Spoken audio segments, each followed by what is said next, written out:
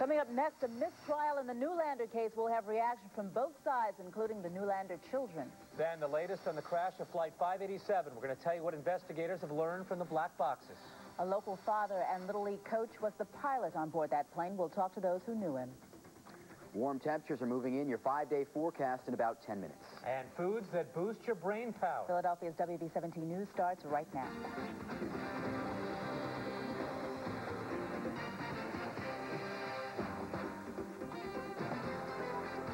This is Philadelphia's WB17 News.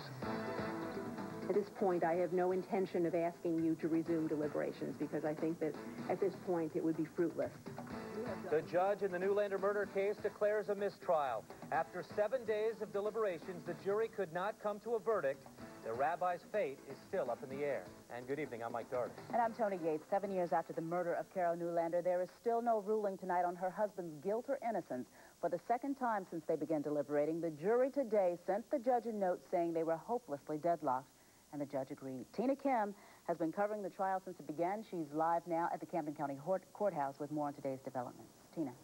Tony, the jurors were considering three charges against Rabbi Fred Neulander, capital murder, felony murder, and conspiracy to commit murder. And the only thing that the six men and six women could agree on is that they could not reach a unanimous decision on any of the charges. He used to preach about heaven and hell. Tonight, Rabbi Fred Neulander is in limbo. After nearly 40 witnesses, 60-some exhibits, 11 days of testimony, 44 hours of jury deliberation, and seven years of uncertainty, his capital murder trial ended without a verdict. I am going to declare a mistrial, and I do hereby declare a mistrial. The jury, I find, is at a complete standstill. You are deadlocked, and no further amount of time could ever be productive a hung jury in a case that has been hanging over the 60-year-old father of three since November 1st, 1994, the day he found his wife Carol beaten to death in their Cherry Hill home. The rabbi was facing the death penalty if convicted of paying for her murder, which his friend and confessed hitman Len Jenoff testified did happen. He's, I think, has the same reaction that we had. He's certainly relieved, uh, but he's disappointed that he wasn't uh, completely cleared. In the pursuit of justice, it is necessary to be steadfast it is necessary to be diligent, and it is necessary in some instances to be patient. Assistant Prosecutor James Lynch also expressed disappointment and determination as he and his boss, Lee Solomon, promised Camden County will retry the case regardless of cost. Our obligation is to do the right thing each and every time.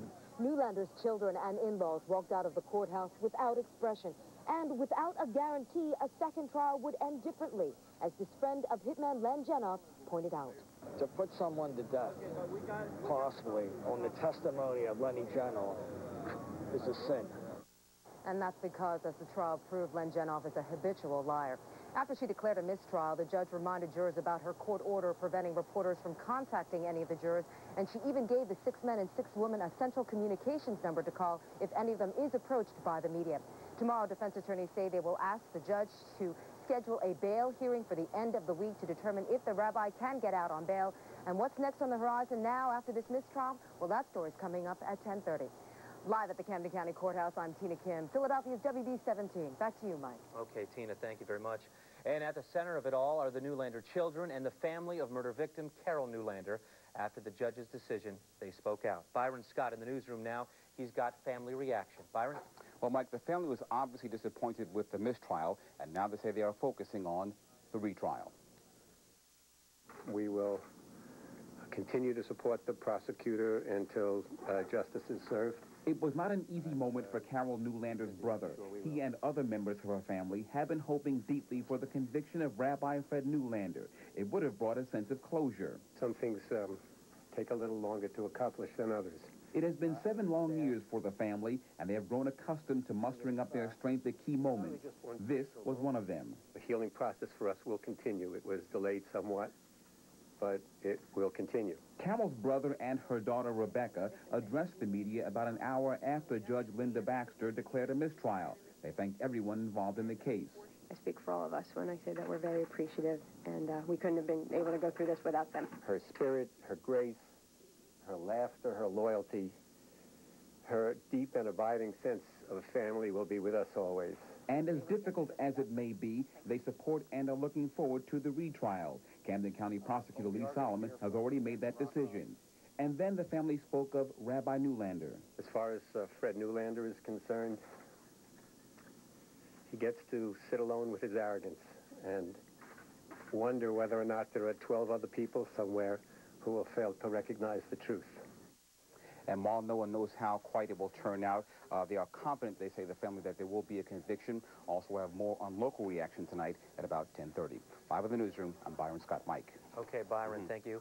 And as we mentioned, today's news probably means that the case will be tried again. We want to know what you think about that. In tonight's Tell Us at 10, we are asking you if the rabbi should face another murder trial. Log on now and vote at WB17.com, and the results are coming up for you later in the newscast. More is now known about the final seconds of American Airlines Flight 587. The cockpit voice recorder shows the pilots heard rattling noises, then quickly started to lose control of the plane. The problem started less than two minutes after takeoff from JFK Airport yesterday. Seconds later, the plane made a nosedive into a residential area in the Rockaway section of Queens. Today, investigators recovered the second black box, the flight data recorder. Investigators have not yet ruled out sabotage, but they do believe it was an accident, perhaps a mechanical failure with the engines. There was no evidence on initial inspection of the engines uh, of any kind of foreign object damage, including a bird. The plane was headed for the Dominican Republic. All 260 people on board the Airbus were killed. Several people on the ground are still missing. And the Queens community where the plane went down is trying to cope with this latest tragedy. That neighborhood lost more than 70 people in the World Trade Center disaster, and at least five of their neighbors are still missing after yesterday's crash. Allison Harmlin is live in Rockaway tonight with more on that. Allison. That's right, Tony. This Rockaway community of Belle Harbor is trying to return to some sense of normalcy despite the fact, the grim reality, that just a few blocks behind the emergency crews continue to dig through the wreckage. This morning, shops reopened, churches and synagogues actually held special services, and school children went back to school just trying to understand how at 9.17 yesterday morning, Flight 587 fell out of the sky. Phyllis Pond is holding tight to her son, a whole school day apart, and Phyllis says she'd rather have